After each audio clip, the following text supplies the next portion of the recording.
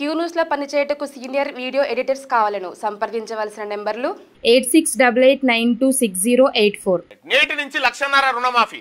ఆరు లక్షల రైతుల అకౌంట్లో ఏడు వేల కోట్లు వేయబోతా ఉన్నారు. లక్షన్నర రూపాయల లోపు పంట రుణాలను మాఫీ చేసేందుకు రాష్ట్ర సర్కార్ సిద్ధమైంది. మంగళవారం రెండో విడతగా రైతుల క్రాప్ లోన్ అకౌంట్లో నిధులు జమ చేయనుంది.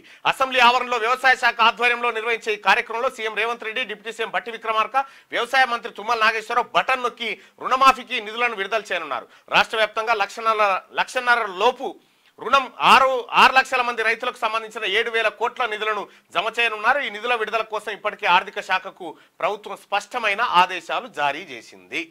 సో ఇవాళ రైతుల రుణమాఫీ కాంగ్రెస్ పార్టీ ప్రభుత్వం ముఖ్యంగా రాహుల్ గాంధీ గారు చెప్పినటువంటి మాట ప్రకారం రెండు లక్షల రుణమాఫీ దిశగా కాంగ్రెస్ పార్టీ అడుగులేస్తా ఉంది. క్యూ న్యూస్లో పనిచేయటకు సీనియర్ వీడియో ఎడిటర్స్ కావాలను. సంప్రదించవలసిన నెంబర్లు eight six double eight nine two six zero eight four.